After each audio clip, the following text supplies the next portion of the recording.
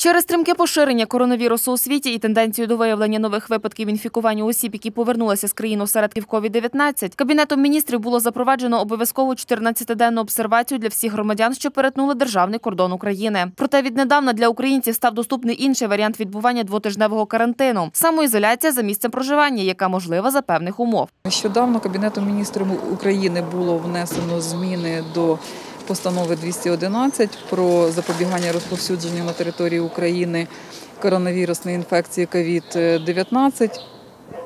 Е, Саме ці зміни передбачають е, можливість е, для громадян, які перебувають на території України, не лише обов'язкової госпіталізації в обсерваторах, але й при їх бажанні самоізоляції з використанням додатку Дій дома.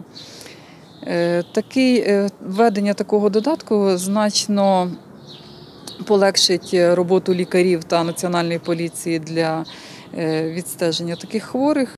Додаток дій вдома дає можливість правоохоронним органам контролювати дотримання самоізоляції громадянами, які дали на неї згоду. Мобільний застосунок потрібно установити на смартфон і авторизуватись у ньому. Далі, відповідно до запиту, визначити геолокацію, де проходить ізоляція, зробити селфі. Перше фото стане еталонним. Саме з ним в подальшому штучний інтелект буде порівнювати наступні світлини. Упродовж 14 днів додаток надсилатиме людині до 10 пуш-повідомлень з проханням зробити фотопідтвердження дотримання нею режиму самоізоляції. Цей так званий селфі-звіт даватиме можливість додатку щитувати дані геолокації пристрою, на якому встановлено програму, а відтак контролювати, чи справді особа залишається вдома. У разі ігнорування цього режиму Нацполіція має право накласти штраф. Додаток дій вдома бажано завантажити на телефон завчасно перед перетином кордону. Тоді громадянам не доведеться заповнювати бланк добровільної згоди на самоізоляцію. Завчасне завантаження цього додатку значно скоротить е, час на перетин кордону. Але якщо не було такої можливості, е, людину інформуємо про те, що в неї має бути такий додаток.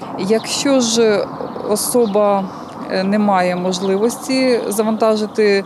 е, Перед перетином кордону такий додаток е, може така особа може скористатися е, стікерами з QR-кодом, які е, є на кабінках паспортного контролю в кожному пункті пропуска, який відкритий для перетину.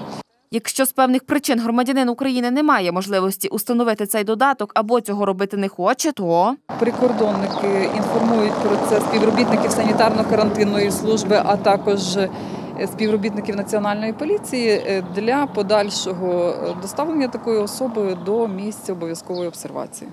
Встановлення цього застосунку дає змогу українцям самоізолюватись вдома у комфорті, а не бути госпіталізованими у спеціальні обсерватори. І водночас спрощує роботу працівників контролюючих органів. Сервіс дій вдома яскравий приклад того, що держава у смартфоні справді працює і сильно осучаснює Україну.